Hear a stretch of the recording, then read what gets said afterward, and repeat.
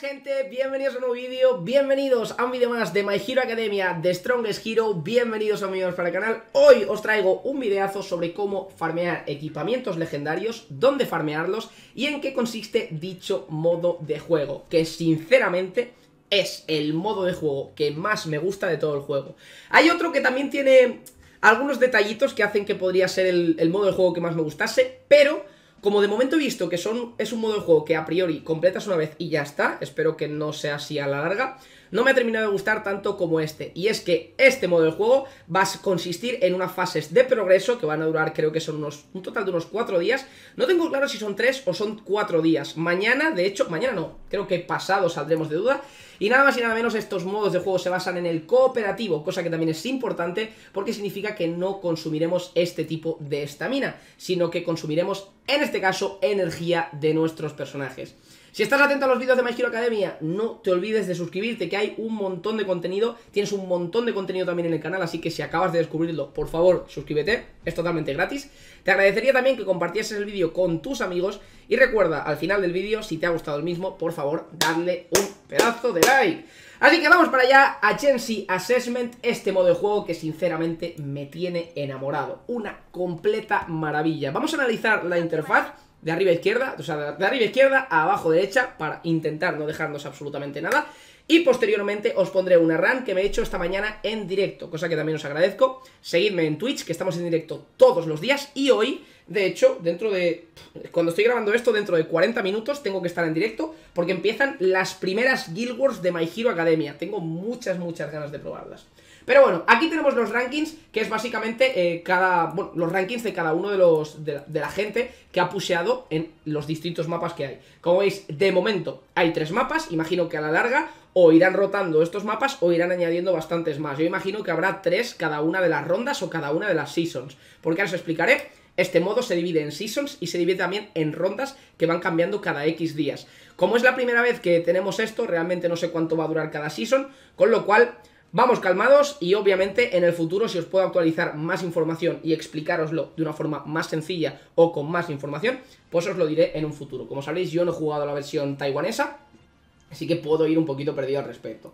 Como estáis viendo por aquí, pues bueno, yo tengo una puntuación dependiendo de cada uno de los mapas. Como veis, precisamente en el primer mapa no estoy listed, es decir, no me he hecho este mapa en una dificultad suficientemente alta como, entrar, como para entrar en el, en el ranking. Luego por aquí, oye, oye, ah, vale, perdón, que yo estoy en el rango 30. Disculpadme, ahora os explicaré también esto. En el, en el primer mapa estoy en el 448, que es una posición bastante negativa. Por aquí tendríamos la posición 742, que en este caso aparece el nombre de mi colega porque lo hice en la, en la piedra, en la llave de mi colega, que os explicaré cómo funciona esto.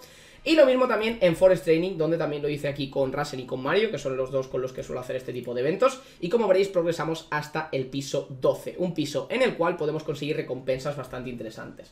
Os explico, es muy pero que muy sencillo. Para conseguir recompensas en este modo de juego, nosotros cada 3 o 4 días, no lo tengo del todo claro, vamos a conseguir un ítem muy pero que muy parecido a este. Este ítem en particular yo ya lo tengo roto porque eh, esta semana eh, hubo un... Bueno, cuando intentamos hacer esta, esta piedra, hubo un montón de lag y fue totalmente imposible jugarla. En el caso de que hubiese completado esta piedra, yo tendría un ítem totalmente... Bueno, tendría este, este mismo ítem, pero podría seguir progresando. ¿Qué significa que la tengo rota? Significa que la he perdido y que la tendría que reparar. Para repararlo, como estáis viendo, tendría que gastarme 20 monedas, pero en este caso no tengo ningún tipo de necesidad de hacerlo ahora, es posible que lo haga en directo, pero básicamente para seguir progresando mi llave, lo que sería mi tarjeta, tendría que gastarme 20 moneditas y en el caso de que la volviese a romper, pues tendría que volver a gastarme las moneditas para progresar. Pero básicamente no me voy a ir directamente a esta parte de aquí, sino que nos vamos a quedar en la parte del medio. Como estáis viendo por aquí, aquí siempre va a salir el mejor try que tengáis una semana. En este caso yo tengo el Forest Training, que nos hicimos el piso 12, con esa dificultad y en ese tiempo. Con ese piso hecho, lo que voy a conseguir son las recompensas que vemos por aquí. Aquí sale el cofre, que voy a conseguir al final de la season, perdón, de la season no, al final de la ronda, que acaba en un día y 10 horas, Y si yo no progreso más en lo que sería la season o las rondas, pues yo me quedaría con estas recompensas, que se, se tratan de dos equipamientos legendarios, 37 ítems para subir nuestros equipamientos y también dos ítems para bustear nuestros equipamientos. En el caso de que mejorase mi piedra o mejorase la piedra de otro aliado y hacerla en tiempo, que ahora os explicaré cómo funciona esto, en lugar de conseguir dos ítems legendarios, conseguiría tres y también más ítems para upgradear dichos equipamientos. Cosa que nos vendría increíblemente bien, pero que de momento está un poco fuera de nuestro alcance, porque entre el ping y que yo he de reconocer que voy bastante pocho en términos de equipamiento y en términos de, de básicamente la mejora de mis personajes, aún me queda mucho por hacer y mucho por aprender para poder ayudar y progresar con mis colegas en este tipo de modo de juego.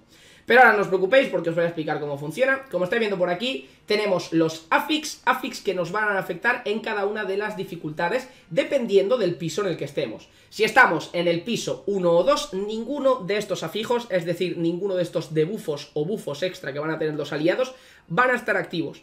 A partir del tercer piso empezaremos a tener debuffos o bufos para los aliados, en este caso, los cuales harán distintas cositas. En particular, a partir del, del piso 3, los villanos tendrían un daño aumentado de un 40% y cuando su, vida, eh, cuando su vida baja del 20%. Es decir, si por lo que sea estamos pegándole a un enemigo y lo dejamos al 20% de vida y no lo matamos, pues ese enemigo va a pegar muchísimo más. Con lo cual tiene que modificar un poquito nuestra forma de jugar esa semana, porque debemos hacer mucho focus al mismo objetivo y nunca dejar a varios objetivos a muchísima vida, porque podríamos peligrar en nuestra run. Luego el siguiente sería Thunder, que es que de vez en cuando aparece un rayito y lo tenemos que esquivar, no es muy pero que muy complicado. A partir del piso 9 aumenta el daño del... No, el daño de los bosses... Aumenta el daño de los bosses un 20%. Ah, no.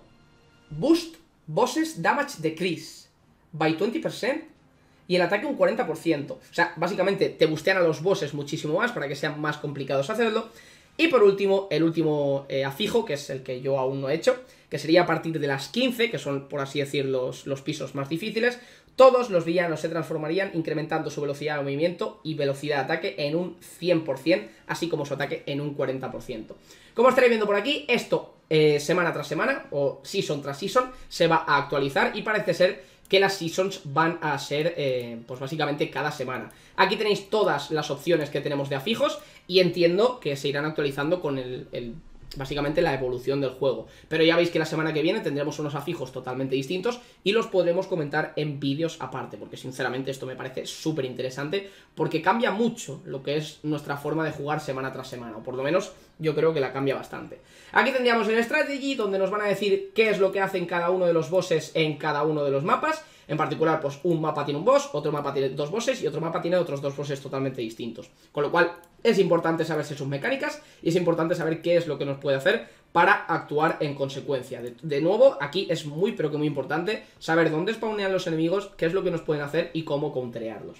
Y por otro lado, por aquí, pues bueno, tendríamos las misiones, las cuales vamos a ir completando en función a lo que vayamos progresando en, nuestro, en nuestra aventura en el COP.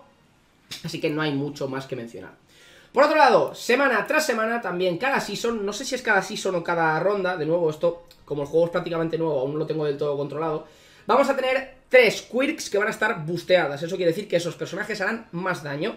En este caso, la quirk o el quirk de Kirishima, de Momo y de Mineta van a estar busteados en un 50% durante esta season de las coop. Así que si tenéis estos personajes, estáis de enhorabuena porque tendréis mayor facilidad para progresar. Luego tendríamos aquí el récord, que es básicamente lo que hemos conseguido en las últimas stages en las cuales hemos participado. Como veis la última vez, pues yo conseguí un, eh, ítem legendario, cosa que se agradece bastante. Y bueno, eh, básicamente aquí podríamos ver todo lo que veríamos. Y por último, aquí tendríamos información de nuestra llave. Llave que, como os he dicho, en mi caso está rota, porque por el lag no pudimos jugar esa partida, nos tuvimos que salir y perdimos la llave. Y bueno, eh, sin más, para crear vuestra propia sala, lo único que tenemos que hacer es aquí Create Team y tendríamos que poner nuestra llave. Insisto, yo la tengo rota, la voy a reparar porque seguramente la acabo utilizando en directo, insisto, pasaos por los directos, enlace en la descripción. Y como veis, en el piso 7 me están pidiendo 17.000 de CC. En el caso de que vayamos progresando, cada vez nos van a pedir más CC. Y aquí estáis viendo, pues bueno, las... Eh, las desventajas, los, eh, ¿cómo se llama? Los afijos que vamos a tener en cada una de las runs para que, bueno, sepamos qué es lo que, lo que vamos a tener que enfrentarnos en ellos. Y bueno, no hay mucho más que mencionar. En el caso de que queramos invitar a nuestros, a nuestros amigos, simplemente le damos aquí a la más, buscamos a los amigos o buscamos a nuestros miembros de nuestra alianza. O en el caso de que simplemente queramos que se metan jugadores, pues le damos aquí a match y en algún momento acabarían apareciendo. Tengo entendido que se puede medio buguear porque puedes pedir gente que sea más de X nivel y eso es... Em, básicamente algo que, está como medio bugueado, ¿no? Como, como que estás pidiendo gente que tenga demasiado nivel y como no existe gente aún que tenga demasiado nivel, te acaban poniendo un bot.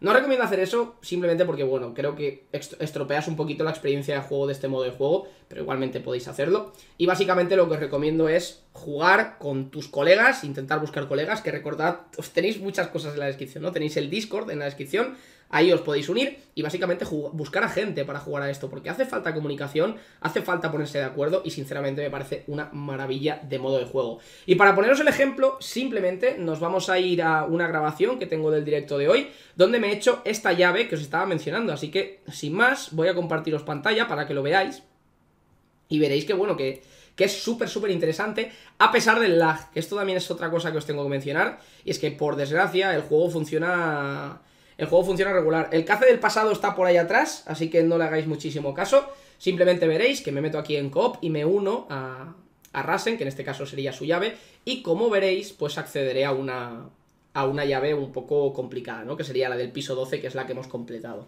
Así que como veréis, le damos aquí a Prep, nos ponemos aquí mamadísimos, ya estáis viendo que nos están pidiendo en el piso 12, 12, que ni siquiera es el máximo, que el máximo te pide 25.000 de CC, eh, 25.860 DCC. Una auténtica barbaridad. Así que, pues bueno, eh, simplemente, ¿qué tenemos que hacer? Muy, pero que muy sencillo. Entrar, comunicarnos con nuestros aliados y básicamente intentar hacerlo lo más rápido posible. ¿Por qué hay que hacerlo lo más rápido posible? Pues bien, gente, como estáis viendo nada más empezar, que ahora os lo, veréis sin ningún tipo de problema, aparte de spawnear, ahí veis los emotes del chat de Twitch eh, apareciendo y demás, veréis que arriba a la derecha nos sale una información bastante interesante, que es el daño que estamos haciendo, también podemos mirar el progreso para que sepamos cuántos bosses nos quedan, pero en el momento que hayáis hecho cada uno de los mapas más de una vez, os aseguro que no vais a tener ningún tipo de problema.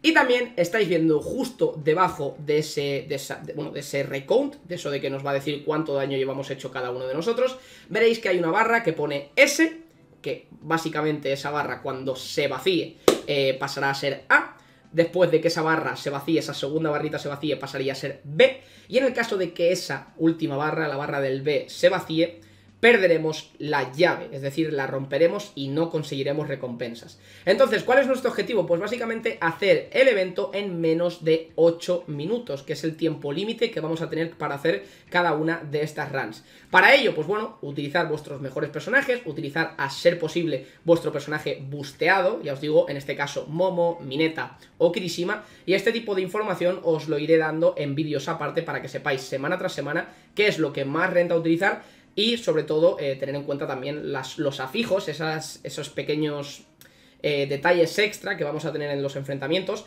para que sepamos enfrentarnos a ellos de la forma más inteligentemente posible. Así que sin más, ya veréis, es que no, no lo puedo enseñar el ping, pero estaba jugando con un ping de prácticamente, eh, creo que eran 400, 500 todo el rato. No sé qué está pasando con los servidores, gente, sinceramente van bastante regular. Y como veréis, pues bueno, simplemente vamos a progresar un poquito para adelante. Aquí justo creo que estoy muerto.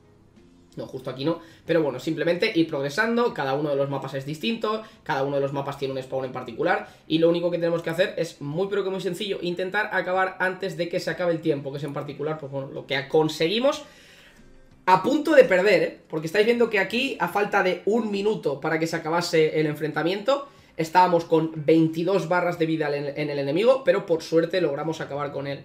Lo que tengo que dejar de hacer es jugar en el emulador porque parece ser que me va mucho más lagueado de lo que debería. En el teléfono me va bastante mejor. Así que al final acabaré jugando en el teléfono también para hacer este tipo de cosas. En el teléfono estoy jugando para jugar, estoy, estoy utilizándolo para jugar PvP porque va bastante mejor. Y como veis terminamos la run básicamente... Eh, 13 segundos de que se acabase el tiempo y conseguimos las recompensas, que en este caso yo me gasto una llave de más pensando que a lo mejor tendría alguna recompensa más interesante, pero como veréis, pues bueno, ahí vemos los daños, que voy muy por detrás, muy pero que muy por detrás, cosa que me, avergüenza un poquito.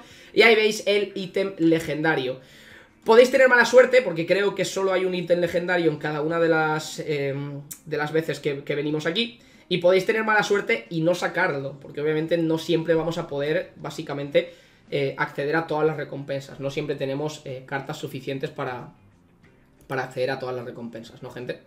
Así que sin más, eh, ya os digo, un evento súper, súper chulo que me recuerda muchísimo a las míticas del WoW, de verdad me parece una completa maravilla y que tengo unas ganas enormes de darle. Aquí es donde se farmea el equipamiento legendario, cada vez que consigamos eh, pasarnos una de estas stages, pues conseguiremos la recompensa pertinente y aparte también tendremos la recompensa de cada una de las season para así poder ir aumentando nuestros, nuestros tal. Vamos a salir de aquí porque siempre que, creamos una sala se acaba llenando permanentemente y, y si no sales pues básicamente no consigues las recompensas. Y nada más, gente, espero que os haya gustado muchísimo este vídeo. Hasta aquí la guía de cómo conseguir equipamiento legendario y cómo funcionan estas stage. Espero que os haya gustado, espero que os haya servido. Y recordad que esto lo hago todos los días en directo. Bueno, por cierto, que esto no os lo he mencionado. Sí que os lo he mencionado, pero no os lo he enseñado. Eh, como, se, como habéis visto, no cuesta nuestra estamina, sino que cuesta estamina, que es básicamente la energía de nuestros personajes. Cada personaje en rareza S, no, en rareza S no, Creo que sí, cada personaje lo podemos utilizar hasta un máximo de dos veces. Así que, pues bueno, diariamente tenemos que intentar, bueno, si queremos farmear sobre todo el máximo equipamiento y para así vender el que nos sobre y conseguir más recursos, pues lo interesante sería intentar eh, consumir la máxima estamina posible de cada uno de nuestros personajes diariamente, ¿vale, gente? Así que, nada más, espero que os haya gustado muchísimo el vídeo, si ha sido así, por favor, dale un pedazo de like.